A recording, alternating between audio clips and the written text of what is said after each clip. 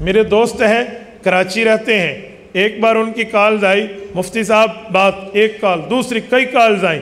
جب میں فارغ ہوا، میں نے رابطہ کیا جی فرمائیں۔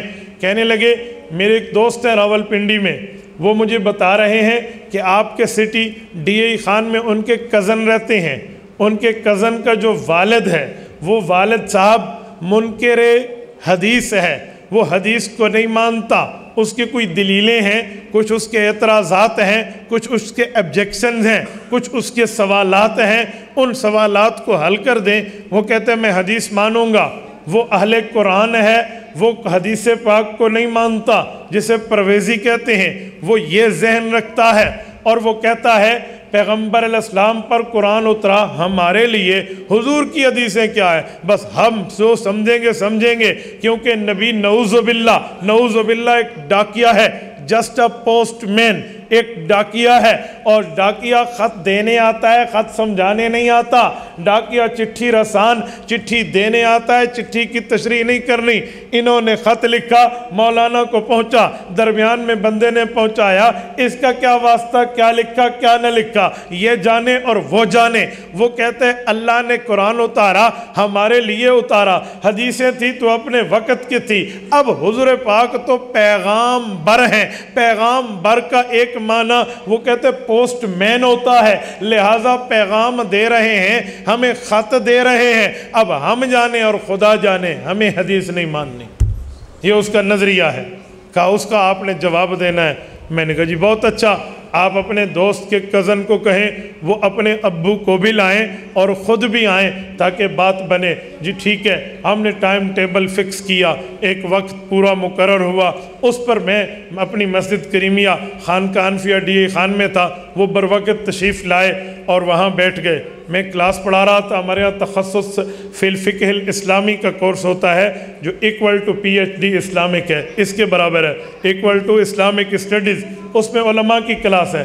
یہ کلاس ختم ہوئی، ان سے ہماری گفتگو شروع ہوئی۔ اب اندازہ لگے اس بزرگ کا، اس بوڑھے آدمی کی اپنے جھوٹے مذہب پہ سچی وابستگی۔ اتنا سچا وابستہ تھا اپنے مذہب سے، اپنے ساتھ ایک تھیلا لایا، تھیلے میں ایک ترجمے والا قرآن رکھ کے لایا۔ ہو سکتا ہے مولوی اپنا قرآن کا ترجمہ دکھائے، کوئی اپنے مسلک و مذہب کی بات ہو۔ بس میں صرف لفظی ترجمہ لے کر چلوں تاکہ اس سے بات کروں۔ ہم بیٹھے تو اس نے دو تین پہلیاں شروع کی۔ جب گفتگو ہوتی ہے نا، تو اس میں سامنے والا، سامنے والے کو دیکھ کر چیک کر کے سوال کرتا ہے۔ میں ایک مثال دیتا ہوں۔ جو کہتے ہیں نا، جیسے منہ، ویسے ہی تھپڑ لگتا ہے۔ گفتگو کا طرز ہوتا ہے۔ اس نے سب سے پہلے مجھ سے پوچھا یہ بات تو ہم شروع کر لیں گے، لیکن ایک بات بتائیں۔ میں نے کہا جی کھل کے پوچھیں۔ مجھے فرمائیں کہ ایک جگہ کانسٹرکشن ہو رہی ہو، عمارت تعمیر ہو رہی ہو۔ میں نے کہا جی کہتے ہیں ایک فور مین ہے اور ایک کنٹریکٹر ہے ٹھیکے دار ہے۔ تو ہم مزدور کی بات مانیں گے، عمارت میں یا اس ٹھیکے دار کی مانیں گے جو یہ بنوا رہا تھا۔ میں بہت اچھی طرح سمجھا کہ اس کا چینل کہاں سے بول رہا ہے۔ ظاہری طور پہ جواب تو یہی بنتا تھا کہ بھئی ٹھیکے دار کی مانیں گے۔ لیکن میں سمجھا، اس موقع پہ، اس وقت، اس جگہ میں، اس مثال کی ضرورت کیا ہے؟ بہت اچھی طرح سمجھا۔ میں نے کہا جی فور مین اور مزدور کی بات مانیں گے۔ اس کو ایک شاک لگا، مزدور کی مانیں گے؟ میں نے کہا جی ہاں۔ کہتے کیوں؟ میں نے کہا اسی لیے کہ ٹھیکے دار نے کہہ رکھا ہے، میرے مزدور کی بات مانو۔ اچھا۔ اچھا ٹھیک ہے۔ ایک اور سوال میں نے کہا جی بالکل آپ سوال کریں۔ بعض اوقات گفتگو میں بہت اچھی طرح سمجھ آتے ہیں۔ ایک بندہ جب اپنی مثال بدلے نا، اس کا معنی وہ اندر سے ٹوٹ گیا ہے۔ اگر اس کی پہلی مثال کام کرتی تو وہ دوسری نہ لاتا۔ اسے کہتے ہیں گرفت اول۔ حضرت استادی علامہ علی شرحدری شہر رحمہ اللہ فرماتے تھے، گرفت پہلی ایسی مضبوط دلیل سے دیں کہ مخالف ذلیل ہو جائے، وہ بات نہ کر پائے۔ دلیل کے طرز پہ بندہ ایسی بات کرے۔ تو مجھے بات تو سمجھ آ گئی کہ اندر سے اس کا پورا وہ دماغ اور حاشیت ٹوٹ گیا ہے۔ میں نے کہا، چلو ایک موقع اور فرمائیں۔ مجھے کہتے ہیں، مولانا، ایک جگہ اگر ہم بیٹھے ہوں، ایک شاگرد ہو، ایک استاد ہو، تو بات کس کی مانیں گے؟ استاد کی مانی جائے گی یا شاگرد کی؟ میں نے کہا جی شاگردوں کی کئی قسمیں ہیں۔ ایک شاگرد وہ ہے جو من مانی کرتا ہے، ایک شاگرد وہ ہے جو مان کے چلتا ہے۔ آپ کس شاگرد کی بات کر رہے ہیں؟ تھوڑا بیلی تھیلے سے باہر نکالو۔ آپ کس شاگرد کی بات کر رہے ہیں؟ وہ پھر پھنسا۔ میں نے کہا، اگر شاگرد منمانی کرتا ہے، کوئی نہیں مانیں گے۔ اگر شاگرد تابع دار ہے، مان کے چلتا ہے، تو استاد نے ایسے شاگرد پر اعتماد کیا ہوا ہے، پھر تو اس شاگرد کی مانیں گے۔ کہتے ہیں اچھا چھوڑیں، مجھے ایک سوال کا جواب دیں۔ وہ ان کے بیٹے دیکھ رہے تھے۔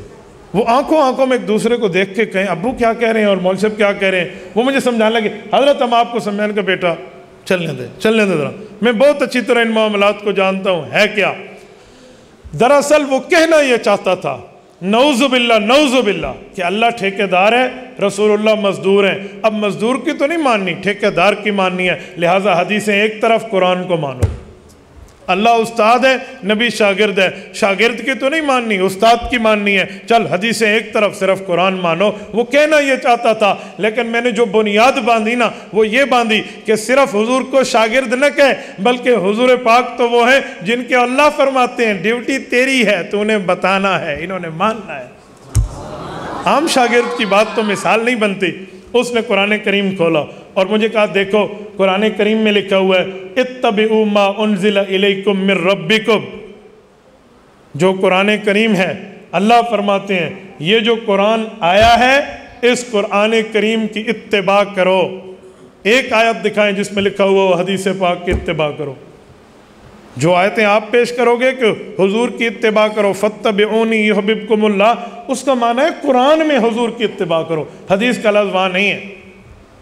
میں نے کہا، آپ دعویٰ پیش فرمائیں، دلیل پیش فرمائیں، میرے اوپر مسلط نہ فرمائیں۔ پھر میں اس کے بعد اس دلیل کا تانا بانا دیکھتا ہوں کہ اس دلیل میں وزن کتنا ہے ویٹ کتنا ہے، اس میں کوئی بات کتنی ہے۔ پھر جا کے آگے بات بنے گی۔ آپ نے بات پوری کر لی؟ کہتے ہیں جی ہاں۔ میں نے کہا، مجھے یہ بتائیں، جب یہ کلام اللہ اترا ہے، تو کلام اللہ مکمل اترا ہے یا ادھورا اترا ہے؟ کہتے جی مکمل اترا ہے۔ تو میں نے کہا، مکمل اترا ہے۔ قرآن کریم میں لکھا ہوا ہے رسول اللہ ادھوری بات بھی فرمائیں، وہ قرآن کریم سے ہٹ کے ہے، تو وہ بھی اللہ کے حکم سے فرماتے ہیں۔ چے جائے کہ پوری بات حضور فرما دیں کہاں پر لکھا ہوا ہے؟ میں نے کہا، میں ایک بات کر رہا ہوں، آپ کے علم میں ہے تو ہاں کریں، نہیں ہے تو نہ کریں، پھر میں پڑھوں گا۔ مخالف کو تھوڑا جیب دیکھنا چاہیے نا، یہ جو آپ پیس سنٹر میں آئے ہو خریداری کے لیے، آپ کی جیب میں کچھ ہے؟ آپ کو تو انارکلی ہونا چاہیے۔ آپ کس اسٹینڈرڈ پہ ٹھہرے ہیں؟ تھوڑا گفتگو میں سامنے والے کو دیکھا جاتا ہے۔ اس کی حیثیت کتنی ہے؟ میں نے کہا جی بھائی، بات اپنی جگہ۔ میں آیت پڑھ دوں گا۔ آپ کے علم میں ہے؟ کہتے جی نہیں ہے۔ میں نے کہا جی بسم اللہ۔ آؤ قرآن کریم سامنے رکھو۔ سورت نجم آیت نمبر تین، آیت نمبر چار۔ رب کائنات ارشاد فرماتے ہیں، وما ينتق عن الهوى ان ہوا اللہ وحی یوہا پیغمبر بولتا ہے، اپنی مرضی سے نہیں، ہماری مرضی سے۔ بولنے کو عربی میں کلام کہتے ہیں۔ اللہ کو فرمانا یوں چاہیے تھا بظاہر، وما یتکلم عن الہوا پیغمبر بولتا ہے، ان ہوا اللہ وحی یوہا اللہ کی وحی سے رب نے یوں نہیں فرمایا۔ فرمایا، وما ینتق عن الہوا ایک کلام ہوتا ہے، ایک نطق ہوتا ہے، ایک کلام ہوتا ہے، ایک منطق ہوتا ہے۔ اس میں بہت فرق ہے۔ کلام کہتے ہیں کمپلیٹلی سن سنٹنس مکمل جملہ اور نطق کہتے ہیں انکمپلیٹلی سنٹنس نامکمل جملہ نطق اسے کہتے ہیں جو سمجھ آئے نطق اسے کہتے ہیں جو سمجھ نہ آئے علمنا منطق الطیر قرآن نے پرندے کی بولی کو بھی نطق کہا ہے. وہ تو ہر بندہ نہیں سمجھ سکتا. میں نے کہا قرآن پورا اترا. جو پورا جملہ رب کہہ دے، وہ تو ہے ہی اللہ کی طرف سے. میرے پیغمبر کی حدیث کا شان یہ ہے. وہ پوری بولے، تب بھی مانو. ادھوری بولے تب بھی مانو ورنہ قرآن حضور ادھورا پہنچاتے تھے، پورا پہنچاتے تھے۔ وہ تو عام گفتگو میں ہوتا ہے، پوری بات کرو یا ادھوری بات کرو۔ قرآن کی گفتگو میں ادھوری بات کا کیا مطلب؟ اب اس کے ہاتھ کے توتے تھوڑے اڑنا شروع ہوئے۔ نہیں مولانا، اصل میں اس آیت کا تھوڑا مطلب سمجھے۔ میں نے کہا نا نا نا نا نا مطلب تو سمجھنا ہوتا تو آپ تفسیر لاتے۔ آپ ترجمہ لائے ہیں مطلب کے پاس آپ نہیں جائیں گے، آپ تو لفظوں کے پاس جائیں گے۔ مطلب پہ جائیں گے تو سب سے بڑا مطلب اللہ کے رسول نے دیا ہے۔ ہم نے وہ نہیں ماننا، تیرا مطلب مانوں؟ جی نہیں مطلب نہیں مجھے ورڈ چاہیے، مجھے لفظ چاہیے۔ قرآن کے الفاظ میں منشن چاہیے بات، وہ بات کرنا مطلب نہیں ہے۔ مطلب تو تشریح ہے۔ تشریح کا حق تو رسول اللہ سے کھینچ رہا ہے۔ حضور نہیں سمجھا سکتے۔ یہ خط کوئی تیری طرف آیا ہے جو تو تشریح کر۔ اور جس کی طرف آیا ہے، اس کی حدیث نہیں ماننی۔ تیری طرف نہیں آیا۔ میں تیرا مطلب کیوں مانوں؟ مطلب نو چھڑ اے لفظاں تے گل کر مطلب کی ہے؟ اے لفظ دے ہوتے میں ہور مطلب نہیں مننا۔ اب بات کہاں چل سکتی؟ اچھا ایک جملہ کہو، میں نے کہا جی کہہ دیں۔ کہتے ہیں قرآن کریم جو ہے یہ حضور کی تشریح کے بغیر ہمیں سمجھ نہیں آ سکتا۔ میں نے کہا جی نہیں آ سکتا۔ کیوں؟ یہ تو واضح ہے، اس میں تو ترجمہ موجود ہے۔ میں نے کہا آج ترجمہ ہے نا۔ آج ترجمہ ہے۔ اور آپ کو یہ پتہ ہے، یہ ترجمہ تمہارے لیے ہے۔ کہتے ہیں عوام کے لیے۔ میں نے کہا کس بے وقوف نے کہا ترجمہ صرف عوام کے لیے؟ ترجمہ تو قرآن سیکھنے والے کے لیے، جو طالب علم ہے۔ تاکہ وہ ترجمے سے مدد لے، اساتذہ سے رہنمائی لے۔ ترجمہ عوام کے لیے تو نہیں ہے۔ مجھے کہنے لگا، یہ کون سی بات ہے؟ میں نے کہا میڈیکل کی کتاب کا ترجمہ کر دیا جائے، تو اس کا کیا مطلب ہے؟ ہر بندہ میڈیکل کے ترجمے پڑھ کے ڈاکٹر بن جائے گا، وہ ڈاکٹروں کو چھوڑ کے۔ میڈیکل کی کسی بک کا ٹرانسلیٹ کر دیا جائے، طب کا، علم حکمت کا، تو اس کا کیا مطلب ہے؟ ترجمہ عوام پڑھنا شروع کر دے۔ وہ تو خاص افراد کے لیے ہوتا ہے۔ قرآن کریم تو بہت آسان ہے، ہمیں خود پڑھنا چاہیے۔ میں نے کہا کہاں لکھا ہے وہ بہت آسان ہے، ہمیں خود پڑھنا چاہیے۔ کہتا ہے قرآن کریم میں وَلَقَدْ يَسَّرْنَا الْقُرْآنَ لِلذِّكْرِ اللہ نے قرآن آسان بنایا ہے۔ میں نے کہا لِ ذکر لِلْإِسْتِدْلَال، اس میں فرق ہوتا ہے۔ لِ ذکر کا معنی ہے نصیحت کرنے کے لیے، لِلْإِسْتِدْلَال کا معنی ہے دلیل دینے کے لیے۔ تو کہتا ہے قرآن آسان ہے، آیت کہتی ہے نصیحت پکڑنے کے لیے، تو دے رہا ہے دلیل پکڑنے کے لیے۔ تو دلیل کے لیے یا نصیحت کے لیے؟ کہتے ہیں، دلیل اور نصیحت میں فرق۔ میں نے کہا، تو آپ یہ فرق نہیں جانتے کہ دلیل اور نصیحت میں کیا فرق ہے؟ تو مجھے کہتے حضور کو سمجھانے کا حق نہیں ہے۔ میرے دوستو، دلیل اور نصیحت میں تو بہت فرق ہے۔ قرآن نصیحت کے لیے حضور پاک پڑھے کس سے نہیں ہے شاگرد دنیا میں کسی سے نہیں ہے ایسا کلام بولتے ہیں شعراء عرب آجز آ گئے ہیں۔ نصیحت پکڑو، یہ اللہ کا کلام ہے۔ دلیل دے گا، مسئلہ ثابت کرے گا تو حضور کی تشریح کی ضرورت پڑے گی۔ لے ذکر فعال میں مدکر ہے میں مستدل نہیں ہے۔ تھوڑا فرق رکھا کرو۔ اچھا تو پھر حدیث ماننی چاہیے، کیا قرآن کریم ہمیں کہیں بتاتا ہے؟ میں نے کہا جی کئی جگہ بتاتا ہے۔ اللہ فرماتے ہیں، یا ایوہ الذین آمنو اطیع اللہ و اطیع الرسول اے لوگو، جیسے اللہ کی بات مانتے ہو، ویسے رسول اللہ کی مانو۔ رب فرماتے ہیں، من اطا اللہ، من اطا وما وما آتاکم الرسول وما آتاکم الرسول فخذوه وما نهاکم عنه فانتهوا. نبی جو دے اسے لے لو، جس سے روکے اس سے رک جاؤ۔ حضور نے جو دیا اسے حدیث کا حکم کہتے ہیں۔ جس سے منع کیا اسے حدیث کی منحیات کہتے ہیں۔ وہ قرآن سے ہٹ کے ہے۔ وہ ماننا بھی ہے، عمل بھی کرنا ہے۔ اچھا میں نے کہا قرآن کریم کہتا ہے، وَأَمَّا بِنِعْمَةِ رَبِّكَ فَحَدِّث۔ اے پیغمبر، ہم نے آپ پر نعمتیں اتاری ہیں۔ اس نعمتوں کو آپ حدیث کی شکل میں بیان کریں۔ فحدث، آپ نے حدیث کی شکل میں بیان کرنا ہے۔ مجھے کہتے ہیں، کوئی ایک دو مثال، میں نے کہا جی میں مثال پیش کرتا ہوں۔ مجھے یہ بتائیں، قبلہ کس طرف منہ کر کے نماز پڑھیں گے؟ آپ کا قبلہ کس طرف ہے؟ یہاں والا۔ یہ قبلے کی سائڈ ہے، ہماری دائیں طرف۔ کہتے ہیں جی ادھر منہ کر کے نماز پڑھیں گے۔ میں نے کہا، قرآن کریم میں ہے۔ آپ جو پہلے قبلے کی طرف منہ کرتے تھے، بیت المقدس، وہ بھی ہم نے بنایا تھا۔ لیکن اب میں اللہ حکم تبدیل کر کے کہہ رہا ہوں، اب بیت اللہ کی طرف منہ کرو، بیت المقدس کی طرف منہ نہیں کرنا۔ ہمارا شمال بنتا ہے۔ ہے آیت ہے، کہتے جی ہے۔ وما جعلنا القبلة التي كنت عليها۔ دوسرا پارا پہلا صفحہ صورت نمبر دو صورت البقرہ رکو نمبر سترہ۔ ہے جی ہے۔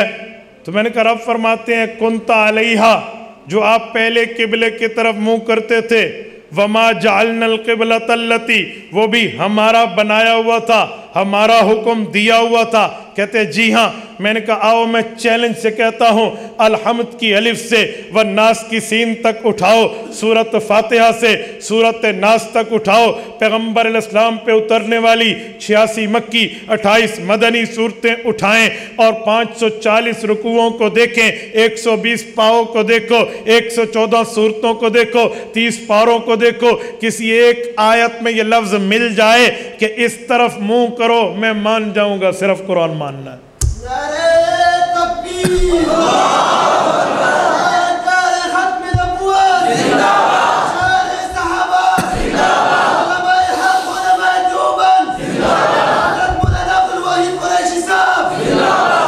کسی ایک آیت میں دکھائیں اللہ نے فرمایا ہو ادھر منہ کرو کیونکہ رب کہہ رہے ہیں جو پہلا قبلہ تھا وہ میں نے بنایا تھا۔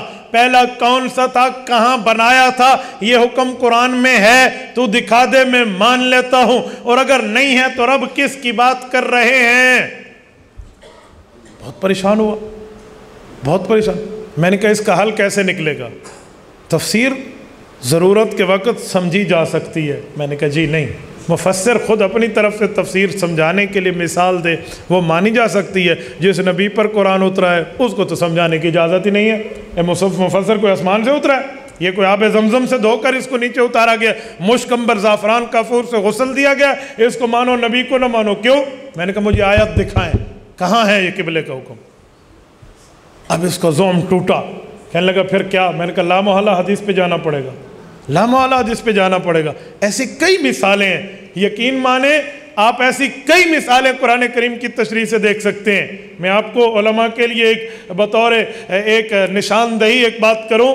حضرت علامہ ضیاء الرحمن فاروقی شہید رحم اللہ فرماتے تھے، بڑی بڑی لائبریریوں پہ Allama Khalid Mahmood P H D London, دامت برکاتہم کی دو کتابیں بھاری ہیں۔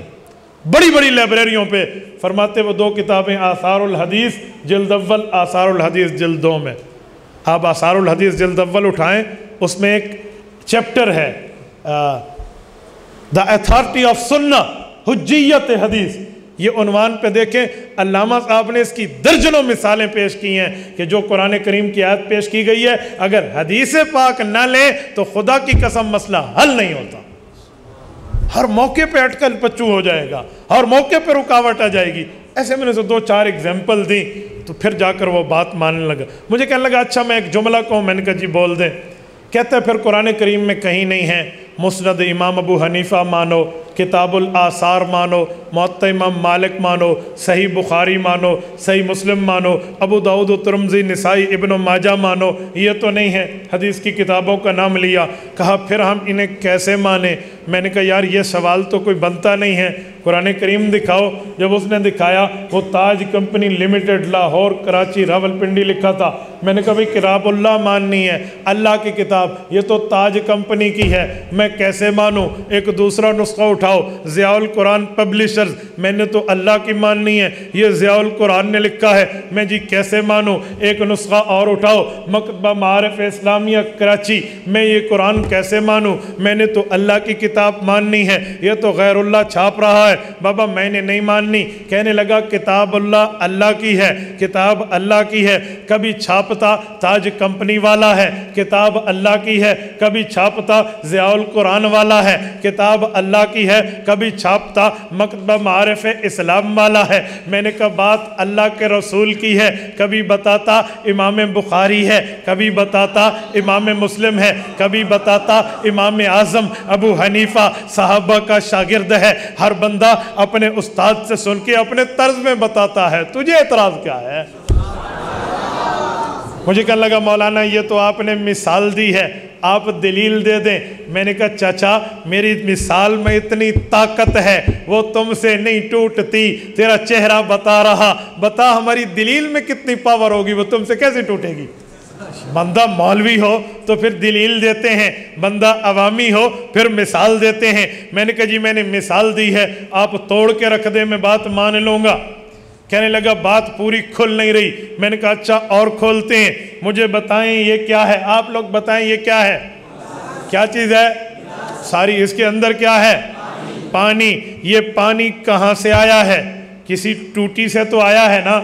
ٹوٹی سے نکل کے آیا ہے، شاور سے نکل کے آیا ہے۔ نلکے سے نکل کے آیا ہے، واٹر پمپ سے نکل کے آیا ہے، یا بورنگ سے نکل کے آیا ہے، یا بارش سے اتر کے آیا ہے، یا چشمے سے، دریا سے، سمندر سے، نہر سے نکل کے آیا ہے۔ آپ مجھے کہیں، آپ کو پانی چاہیے؟ میں کہوں گا جی ہاں۔ مفتی عبدالواحد قریشی، یہ پانی پی لو۔ میں کہوں گا، یہ پانی کہاں سے لائے؟ جی شاور سے لائے، بارش سے لائے، نہر سے لائے، سمندر و دریا سے لائے۔ میں کہوں گا جی میں نہیں پیتا، قرآن کریم میں ہے، انزلنا من السماء ماء ماں، پانی اللہ نے اتارا ہے۔ مجھے اللہ والا پانی چاہیے، ٹوٹی والا نہیں چاہیے، اللہ والا چاہیے، شاور والا نہیں چاہیے، اللہ والا چاہیے، دریا والا نہیں چاہیے، اللہ والا چاہیے، نلکے والا نہیں چاہیے، اللہ والا چاہیے، ٹینکر اور بورنگ والا نہیں چاہیے۔ مجھے تو اللہ والا پانی دو۔ آپ کہیں گے، مولانا، پانی اللہ کا ہے۔ زمین میں اللہ نے پانی بچھا دیا ہے۔ اوپر زمین بچھا دی ہے۔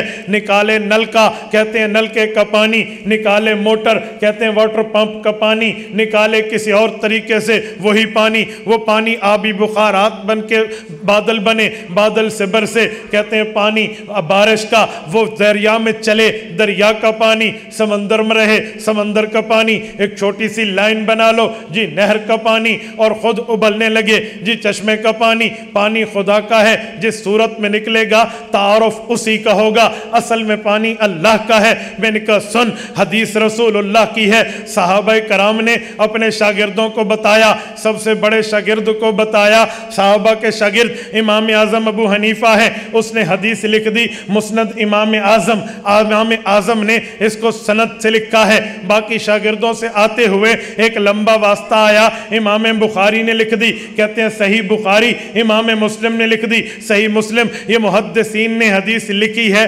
نام اپنا دیا ہے